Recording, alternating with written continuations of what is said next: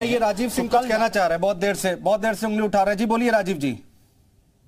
अनुज जी भाई साहब मैं बार बार कह रहा हूँ और सुबह से मैं कई चैनलों पे देख रहा हूँ बार बार कह रहे हैं कि वो दुर्व्यवहार करते हैं या करते हैं। और जिस घटना का क्लिप बार बार चलाया जा रहा है वो रांची के स्टेडियम में नेशनल हो रहा था और वो जिस खिलाड़ी के वो आप गाल पे हाथ मारते हुए वीडियो को दिखाया जा रहा है कि सांसद जी बड़ा इस तरह से करते हैं। वह लड़के को उस पहलवान के बारे में जान लीजिए, वो उत्तर प्रदेश का खिलाड़ी है और नंदनी नगर जहाँ जो नेताजी जो चलाते हैं, वहाँ का वो खिलाड़ी है। उस लड़के ने क्या किया था ये जान लीजिए। उसने स्टेडियम में इस बात के लिए किया कि मैं उत्तर प्रदेश का खिलाड़ी हूँ और नंदनी नगर का हूँ, इसलिए मुझे स्पेशल ट्रीटमेंट दिया जाए। तो उन्होंने मंच पे जो एक पिता होता है अपने अनुशासनहीन पुत्र को जो कार्य करता वही करके उसको मारा कि तुम नंदनी नगर के खिलाड़ी हो तो तुम्हें वीआईपी ट्रीटमेंट मिलेगा।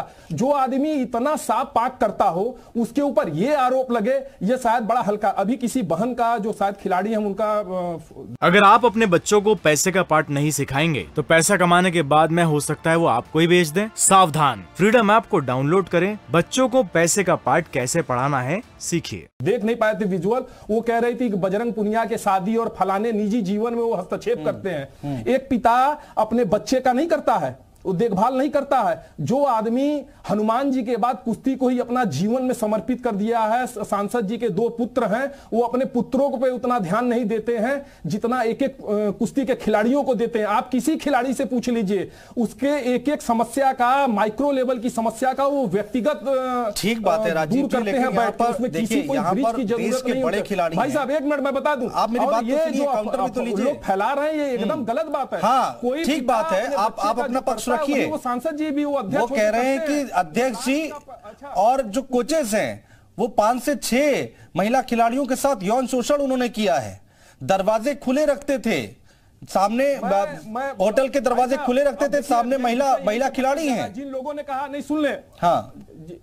जी अनुज जी भाई साहब पहले सुन ले। उन्होंने कहा कि लखनऊ में किसी का सुन रहा था कोई बहन कह रही थी महिला पलवान कि लखनऊ में ही क्यों ट्रायल हो रहा है? हाँ। तो जो लखनऊ का ट्रायल साई का सेंटर है कोई सांसद जी के घर में नहीं हो रहा है।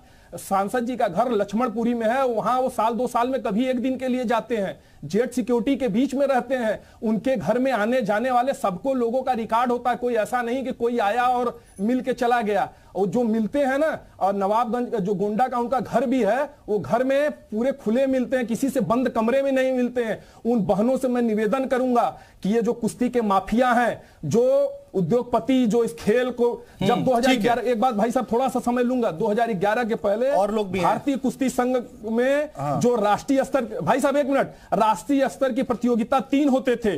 2011-12 में वो चुनाव जीतने के बाद आज तेईस तरह के राष्ट्रीय प्रतियोगिता हो रहे हैं। ठीक है। ये यही पहलवानों से पूछ लीजिए। आनंदेश्वर आनंदेश्वर जी आनंदेश्वर जी। अब ठीक है आप लोग कह रहे हैं जो कुश्ती के माफिया हैं वो कौन माफिया हैं? जरा ये समझाइए ना। कौन लोग हैं इसके पीछे?